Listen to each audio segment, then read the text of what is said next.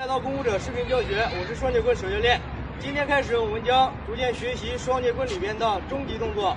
那么，首先我们之前学过苏秦飞剑换手，与这个动作对应的就是反苏秦飞反苏秦飞剑换手，叫做叶底生花，从腋下掏上来，这个手在上面接棍。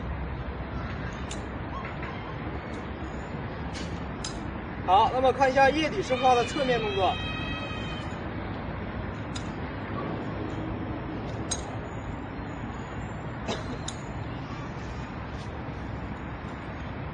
好，那么下一个动作叫做平掌转棍啊。首先，棍子斜劈到左右肩，往回拉的时候做一个下边的平掌啊，绕掌一周转过来，然后到上面再推过去，这个叫平掌转棍。好，注意手掌要伸直，在身体啊垂直身体，也就是跟地面平行，在下面画一个圆圈，在上面画一个圆圈，画两个平圆，叫做平掌转棍。注意。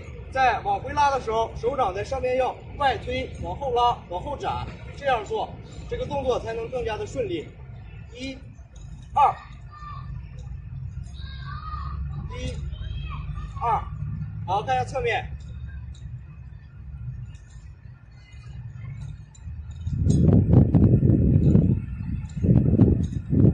好，我们下一个动作叫做横扫千军。我们回忆一下。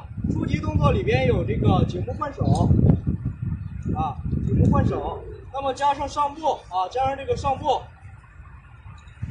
横扫出去，就叫做横扫千军，啊，好，再看一下，上步的时候脚下的步伐，上右脚转身一百八十度，上后脚转过来，顺势横扫，好，看一下，一、二，横扫千军。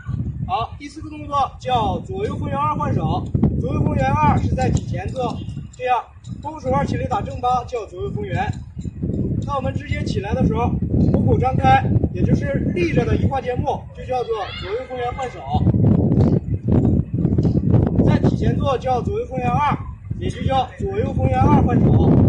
习惯之后，我们可以一点点加速，甚至可以稍稍的加一点小抛棍，这样呢接棍瞅着更加顺利啊。把棍子呢捂直，左右风圆二换手，这个是慢动作。啊，虎口打开，抓住。